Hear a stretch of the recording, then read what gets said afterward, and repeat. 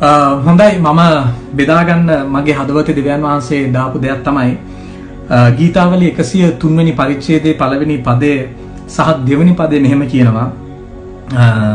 මාගේ ආත්මය ස්වාමින්ට ප්‍රශංසා කරව. මා තුළ ඇති සියල්ල උන්වහන්සේගේ ශුද්ධ වූ නාමයට ප්‍රශංසා කරව. මාගේ ආත්මය ස්වාමින්ට ප්‍රශංසා කරව. උන්වහන්සේගේ උපකාර සිහි සියල්ල සිහි නැති නොකරව. ආමෙන්. මේක දාවිත් ඔහුටම කතා කරගෙන කියන දෙයක්. මේක වෙන කෙනෙකුට දේශනා කරන එකක් නෙමෙයි තව කෙනෙකුට කියන එකක් නෙමෙයි. දාවිත් එයාගේ ආත්මයටම කතා කරලා කියනවා. එයාගේ හදවතටම කතා කරලා කියනවා මාගේ ආත්මය ඒ දාවිත් නැත්තම් ටිරෝන් දිව්‍යන් වහන්සේට ප්‍රශංසා කරන්න පටන් ගන්නවා. ඊට පස්සේ කියනවා මා තුළ ඇති සියල්ල මගේ හැකියාව මගේ සිතුවිලි මගේ ආකල්ප මගේ ආශාවන් මම මම කියන මුළු සමූහයම උන්වහන්සේගේ ශුද්ධ වූ නාමයට ප්‍රශංසා කරන්න කියලා කියන. එනිසා දෙවනි පදය කියනවා මාගේ ආත්මය ස්වාමින්ට ප්‍රශංසා කරව උන්වහන්සේගේ උපකාර සියල්ල සිහි නැති නොකරව. මම කද්ද කතා කරන්නේ නැන්නේ ඒ කොටස අල්ලගෙනයි. දාවිත්තුමා තමාටම කතා කරලා කියනවා උන්වහන්සේගේ උපකාර සියල්ල සිහි නැති නොකරව. මොකද මම මේක කියන්න කැමති මේ වෙලාවේ මම දන්නවා අපි හුඟක් අවිනිශ්චිත කාලයක් තුල තමයි යන්නේ. හැමදේම හෙල්ලිලා තියෙන්නේ. හැමදේම හෙල්ලිලා කියන්නේ සමහර කට්ටියට රැකියා නැති වෙලා ඇති. සමහර කට්ටියට ඔවුන්ගේ මාසික ආදායම නැති වෙලා ඇති. විවිධ ප්‍රශ්න ඇවිල්ලා ඇති. සමහර කට්ටිය මම දන්නේ මේ කාලේ නිසා පෞල් ප්‍රශ්න තුලින් යනවා ඇති. ස්වාමි පුරුෂයා භාර්යාව අතර ප්‍රශ්න යනවා ඇති. ඒ වගේම තරුණ තරුණියන් හුඟක් මේ කාලේ ෆ්‍රස්ට්‍රේෂන් එමත් නැත්නම් මානසික පීඩනය නිසා බොහොම අමාරු තද අමාරු අවස්ථාවන් වලට මුහුණ දෙනවා ඇති පරීක්ෂාවන් වලට වැටෙනවා ඇති ඔබට ඔබේ මානසික මනස වියවුල් වෙලා ඇති අනාගතේ මොනවද වෙන්න යන්නේ කියලා ඔබ දන්නේ නැතුව ඇති ඔබට බයක් එනවා ඇති. නමුත් මම ඔබට මේ දේව වචනෙන් කියන් කියන්නට යන්නේ පවුල්තුමා පිලිප්පි 4 වෙනි පරිච්ඡේදයේ අපි දන්න හැමෝම දන්න පරිච්ඡේදයක් ලස්සන දෙයක් කතා කරලා කියනවා 4 4 පවුල්තුමා හිරගෙදර ඉද්දි කතා කරන දෙයක් ඔහු පීඩාකාරී අවස්ථාවක් තුල ඉද්දි කතා කරන දෙයක්. ඔහු හිරවෙලා ඔහු ඔහුට කිසිම දෙයක් කරගන්න බැරුව ලොක්ඩවුන් වෙලා ඉන්න සිටුවේෂන් එක ඔහු පිලිප්පි සභාවට ලියන දෙයක්. ඔහු කියනවා ස්වාමින් තුල නිතරම ප්‍රීති වෙන්න. ආමෙන්. ඔහු කියනවා මගේ ප්‍රීතිය රැඳෙන්නේ ස්වාමින් වහන්සේ තුලයි. අපි හැමෝම මම ඔබට මේ සවස කියන්නට ආවේ ඔයාටයි මටයි හැබෑ ප්‍රීතිය අපිට මීට පෙර ගෙනාපු මාසික ආදායමට බැහැ ප්‍රීතිය ගෙනත් දෙන්න. අපේ ජීවිතේ කිසිම දෙයකට ප්‍රීතිය ගෙනත් දෙන්න බෑ. අපේ සැබෑ ප්‍රීතිය රැඳිලා තියෙන්නේ දෙවියන් වහන්සේ තුලයි. ඉතින් පාවුතුමා හිරගෙදර ඇතුලේ ඉඳලා කියනවා ඔහු කියන්නේ නෑ මම සිරගෙදර තුල දුකෙන් ඉන්නවා කියලා. හැබැයි සිරගෙදර තුල ඔහු කියනවා මම ස්වාමින් වහන්සේ තුල ප්‍රීතියෙන් ඉන්නවා කියලා. ඔහු සබාව ධෛර්යමත් කරනවා ස්වාමින් වහන්සේ තුල ප්‍රීති වෙන්න. ඔබ මොන අවස්ථාව තුලින් ගියත් මොකක් අහිමි වෙලා තිබුණත් ඔබේ ඔබේ සීලුම සැලසුම් හෙල්ලිලා තිබුණත් දෙවියන් වහන්සේ තුල ප්‍රීතිය සොයාගන්න. ඊට පස්සේ පස්වෙනි පදය කියනවා නුඹලාගේ ඉවසිලිවන්තකම සියලු මනුෂ්‍යයන්ට දැනගන්ට ලැබේවා. ස්වාමින් වහන්සේ ලංව සිටිනසේක. ආමෙන්. නුඹලාගේ ඉවසිලිවන්තකම හැම මිනිසෙක්ම දැනගන්නට අවශ්‍යයි. ලෝකේ මිනිසයා දකින්නට අවශ්‍යයි. මේ කාලේ දෙවියන් වහන්සේව ප්‍රශ්න කරන දෙවියන් වහන්සේ කෝ කියලා අහන ලෝකය දකින්නට අවශ්‍යයි දෙවියන් වහන්සේගේ දරුවන් තුල තිබෙන ඉවසිලිවන්තකම. මොකද මේකේ කියනවා මක් නිසාද ස්වාමින් වහන්සේ ලංව සිටින සේක. දෙවියන් වහන්සේ දුරස්තව ඉන්න කෙනෙක් නෙමෙයි. උන්වහන්සේ ඔබට ළඟින් ඉන්නවා. ඒ වගේම 6 වෙනි පදේ මෙන්න මෙතන තමයි මට වැදගත්ම දේ ඔබට කියන්නට අවශ්‍ය. නුඹලා කිසිවක් ගැන කනගාටු නොසිතා සියල්ලෙහිදී ස්තුතිදීම සමග යාඥාවෙන්ද කන්නලව්වෙන්ද නුඹලාගේ ඉල්ලීම් දෙවියන් වහන්සේට දන්වන්න. ආමෙන්. මේක මම නැවත කියන්නම්. නුඹලා කිසිවක් ගැන කනගාටු නොසිතා සියල්ලේදී ස්තුතිදීම සමග යාඥාවෙන්ද කන්නලව්වෙන්ද නුඹලාගේ ඉල්ලීම් දෙවියන් වහන්සේට දන්වන්න. මෙතන තමයි ඔහු රහස කියලා දෙන්න පටන් ගන්නේ. ඔහු කියනවා නුඹේ වර්තමාන తত্ত্বය අපි මූණ දීලා තියෙන මේ පීඩාකාරී తত্ত্বය නැත්තම් මේ වසංගත తত্ত্বය නැත්තම් ඔබේ රැකියාව අහිමි වෙච්ච අවස්ථාව නැත්තම් ඔබේ සැලසුම් කඩා වැටිච්ච අවස්ථාව ඔබේ ආර්ථිකය කඩා වැටිච්ච අවස්ථාව ඔබේ බලාපොරොත්තු මදකට නතර වෙලා තිබෙන අවස්ථාවේදී ඔහු කියනවා කිසිවක් ගැන කනගාටු වෙන්න එපා. ඊට පස්සේ ඔහු රහසක් කියනවා සියල්ලෙහිදී ස්තුතිදීම සමග යාඥා කරන්න පටන් ගන්න කියලා කියනවා. ස්තුති දෙන්න පුළුවන් මම කතා කරන්නේ මේ ස්තුති දීම ගැනයි. ස්තුති දෙන්න නම් අපිට කවදාවත් දෙවියන් වහන්සේ ඔබේ ජීවිතේ මගේ ජීවිතේ මීට පෙර කරපු දේවල් අමතක නම් ස්තුති කරන්න විදියක් නැහැ. ආමෙන්. මේ වෙලාවේදී ඔහු කියන්නේ ස්තුති කරන්න කියලා කියන්නේ වෙන මොනවටවත් නෙමෙයි දෙවියන් වහන්සේ මීට කලින් අපිත් එක්ක ඉඳලා තියෙනවා. මේ ප්‍රශ්නේද මූණ දෙන්න ප්‍රථමයෙන් උන්වහන්සේ මගේ කලින් ප්‍රශ්නේදීත් මාත් එක්ක ඉඳලා තියෙනවා. කලින් මගේ ආර්ථික ප්‍රශ්නේදීත් දෙවියන් වහන්සේ මාත් එක්ක ඉඳලා තියෙනවා. කලින් මගේ ව්‍යාපාරයේ ගැටලුවදීත් දෙවියන් වහන්සේ මාත් එක්ක ඉඳලා තිබෙනවා. කලින් මගේ පවුලේ ප්‍රශ්නේදීත් දෙවියන් වහන්සේ මාත් එක්ක ඉඳලා තියෙනවා. මොකද මම ඉස්සල්ලාම කිව්වා ගීතාවලිය 103 දෙවෙනි පදයේ කියනවා උන්වහන්සේගේ උපකාර සියල්ල සිහි නැති නොකරව. දෙවියන් වහන්සේගේ උපකාර කිසිම දෙයක් අමතක කරන්න එපා. ඉතින් මේ වෙලාවේදී මම ඔබව ධෛර්යමත් කරන්න මොකක්ද දන්නවද? ඔබේ වර්තමාන යෝධයා ඉස්සරහා ඔබ හිටගෙන ඉන්නකොට ඔබ අමතක කරන්න එපා දෙවියන් වහන්සේ ඔබට මීට කලින් කරලා තිබෙන දේවල්.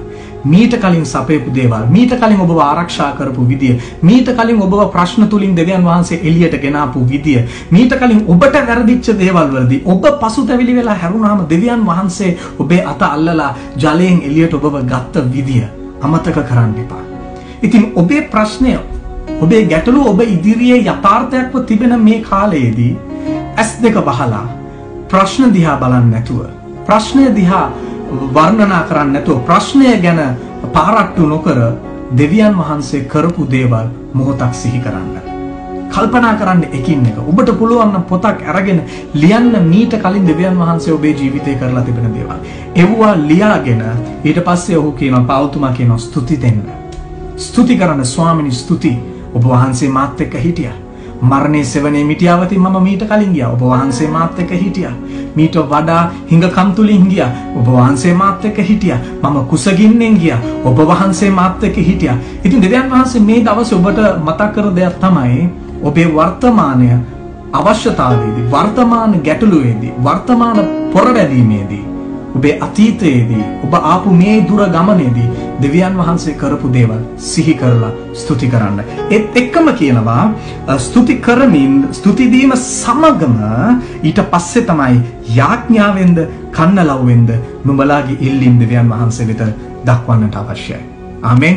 ඊට පස්සේ දෙවියන් වහන්සේ කරපු යහපත් දේවල් සිහි කරාට පස්සේ යාඥා කරන්න ස්වාමිනී ඒක කරපු ඔබ වහන්සේ එදා සපයපු ඔබ වහන්සේ අදත් මට සපයන දෙවියන් වහන්සේ. එදා මාව ආරක්ෂා කරපු දෙවියන් වහන්සේ අදත් මාව ආරක්ෂා කරන දෙවියන් වහන්සේ.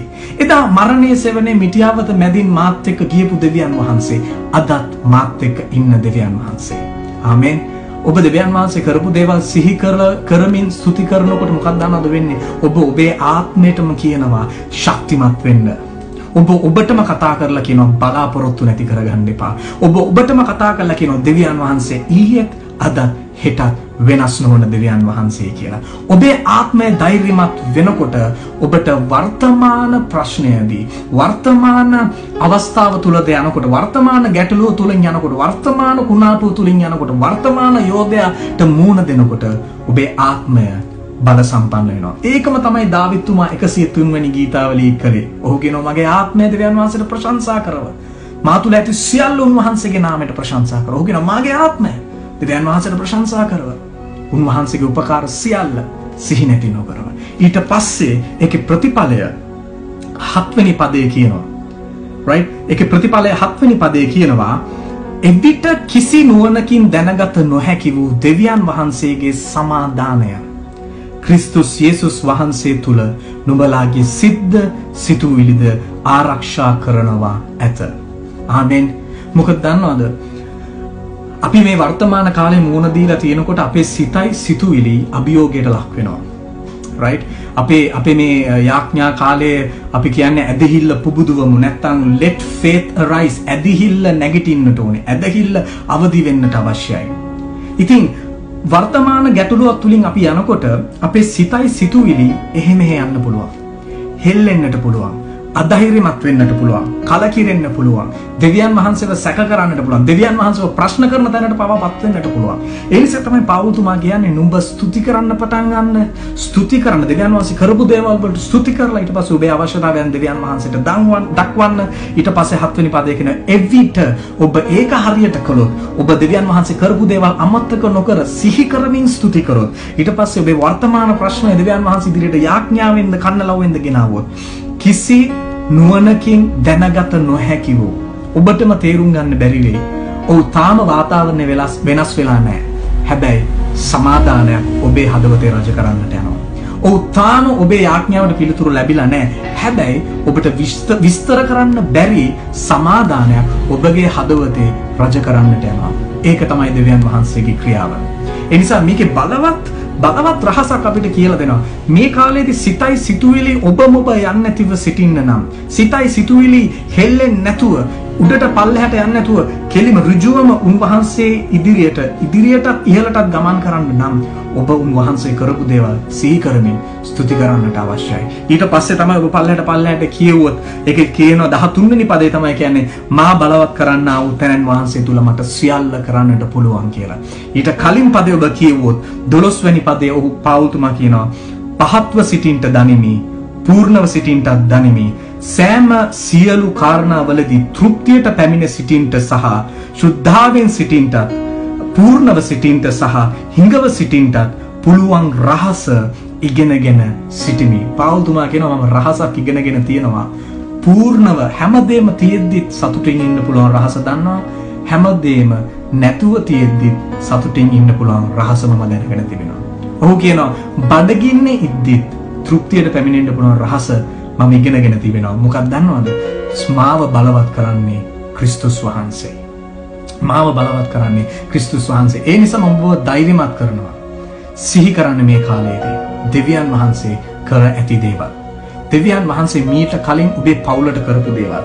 මීට කලින් ඔබේ රැකියාවදී ඔබට උපකාර කරපු විදිය. මීට කලින් ඔබ පාපයෙන් වැටිලා ඉන්නකොට ඔබව දෙවියන් වහන්සේ ඔසවපු විදිය. මීට කලින් ඔබ හිඟකමක් තුලින් යනකොට අවශ්‍යතාවයක් තුලින් යනකොට රෝගය තුලින් යනකොට දෙවියන් වහන්සේ ඔබත් එක්ක හිටපු විදිය සිහි කරලා අත් දෙක උස්සලා මුළු හදවතින්ම දෙවියන් වහන්සේට ස්තුති කරන්න පටන් ගන්න.